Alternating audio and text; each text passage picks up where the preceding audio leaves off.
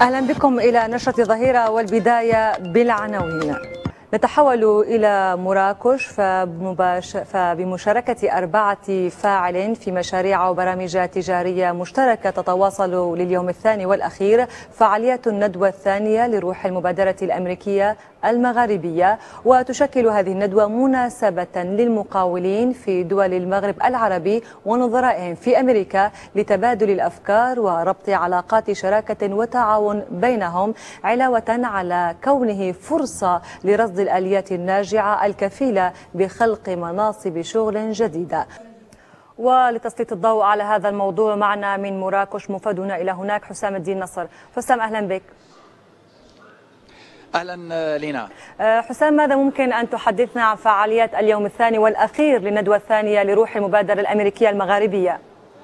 لينا طبعا للحديث أكثر عن هذه التظاهرة وعن هذه الندوة. لابد من استضافة يعني أشخاص كانت لهم مداخلات وشاركوا خلال هذه الاجتماعات. وحول هذا الموضوع ينضم إلينا مباشرة السيد إدريس تمسامعني رئيس جمعية التحالف المغربي الأمريكي. مرحبا بك سيد إدريس. شكرا. يعني سيدريس اليوم نحن في اليوم الأخير لانعقاد هذه الندوة هذه التظاهرة. يعني وبعد أن يعني شاهدنا ورشات عمل متنوعة وعديدة يعني ما هو الانطباع العام لحد الآن؟ وهذه كانت مناسبة جيدة اللي شاركنا فيها هنا في مراكش.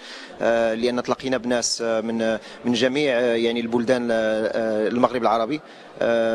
وهضرنا في مواضيع يعني كيفاش غنشاركوا في هذه التنمية وهذا التواصل اللي غادي يبقى دائما مع مع هذه الجمعيات ومع الناس اللي هما كي كينظموا هذه البلدان اللي انخرطت في هذا الاجتماع وأنا كممثل من الجاليه المغربية في أمريكا جيت هنا بمشروع مهم باش أنا ننخرط في هذه في هذه المناسبة ونساهم في التنمية ديال المقاولين وديال ديال الشباب المغربيين. طيب يعني الجالية المغربية المقيمة في أمريكا مثلا وأنت واحد منهم وحتى أن أنت تمثل الجالية المغربية المقيمة هناك، يعني كيف تنتظر ماذا تنتظر الجالية من من من هكذا لقاءات من هذه الندوة؟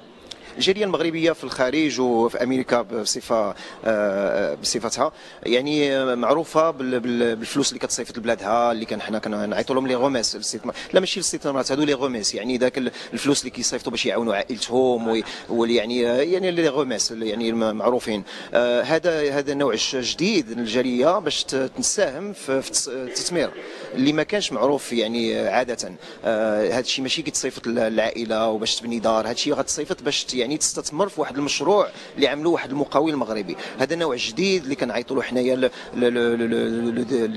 ال investissement direct يعني من الخارج من الخارج اللي كي normalement كيجيبوه الشركات ما كيجيبوهش يعني ما كتجيبوش الجالية المغربية. سو كنفتحوا لهم باب جديدة باش يساهموا في هذا الاستثمار ويعني ونعطيو لهم فرصة باش يبنيو بلادهم.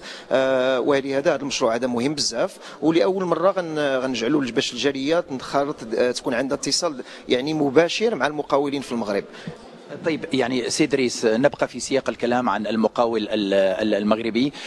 وطبعا الكلام يتعلق بهذه الندوة. يعني برأيك ما هو التأثير المباشر أو الانعكاسات المباشرة لهذه الندوة يعني على الشاب المغربي بشكل عام وعلى المقاول المغربي بشكل خاص؟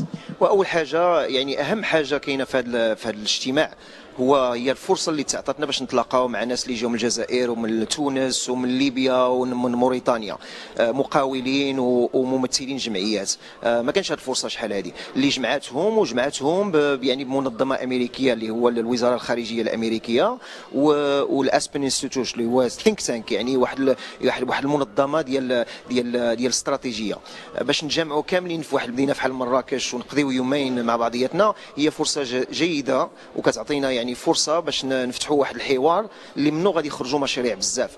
آه اللي خصنا نشوفوا دابا هو من دابا واحد العام اللي غنتلاقاو نوبه أخرى في هذا يعني هذا الاجتماع كيتعمل كل عام هو هذه المشاريع اللي تهضروا فيها وتذكرنا فيها. شنو اللي منهم غادي يعطيو واحد واحد الانفعال يعني آه سلبي مع المقاولين ومع الشباب المغاربة؟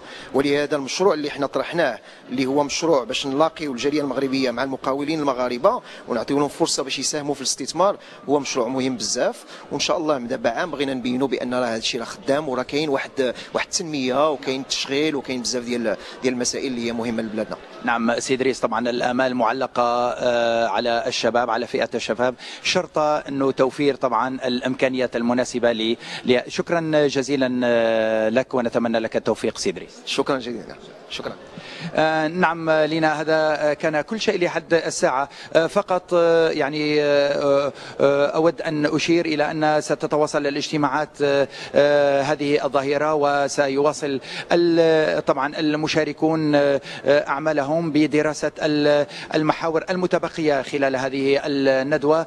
طبعا والتي تتمحور كلها أو تتعلق معظمها بتعزيز روابط التعاون ما بين بلدان المغرب العربي وطبعا دعم المقاول المغربي بشكل عام. بالتأكيد حسام ستوافينا بالجديد في النشرات اللاحقة. إذا موفدنا إلى مراكش حسام الدين نصر شكرا جزيلا لك ولضيفك. التفاصيل في تقرير هشام طبجون. جئت لأبحث عن انطلاقة جديدة بين الولايات المتحدة والعالم الإسلامي. انطلاقة مبنية على المصلحة والاحترام المتبادلين. انطلاقة مبنية على هذه الحقيقة وهي أن الولايات المتحدة والإسلام لا يتعارضان. انطلاقا من هذا الخطاب للرئيس الأمريكي باراك أوباما الذي ألقاه في جامعه القاهرة في شهر يونيو عام 2009 والذي وعد فيه بتحسين العلاقات بين العالم الإسلامي والولايات المتحدة. جاءت هذه المبادرة التي جمعت تحت سقف واحد الفاعلين بإحدى قاعات المدينة الحمراء. لقاء يهدف إلى بلورة مشاريع وإقامة شراكات للأعمال بين الولايات المتحدة الأمريكية والبلدان المغاربية وتحسين المبادلات العابرة للحدود بين دول المغرب الكبير وتشجيع تبادل الأفكار والتجارب في القطاعات المرتبطة بالمفهوم المقاولاتي وذلك بغية إنعاش التنمية بالمنطقة. من ناحيتها أكدت وزيرة الشؤون الخارجية الأمريكية السابقة مادلين أولبرايت في هذا اللقاء أنه يتعين النظر إلى الشباب كفاعلين داخل مجتمعاتهم وليس فقط كمستهلكين عاديين. وأوضحت أن الانتفاضات الشعبية التي عرفتها بعض البلدان بالمنطقة تعكس تطلعات الشباب في التغيير والمزيد من الديمقراطية والكرامة. هذا ويناقش المشاركون في هذا اللقاء عموما آليات تمويل المقاولات الناشئة فضلا عن التركيز على الوسائل الكفيلة بتسهيل احتضان المقاولات الكبرى للمشاريع المقدمة من قبل الشباب المقاول.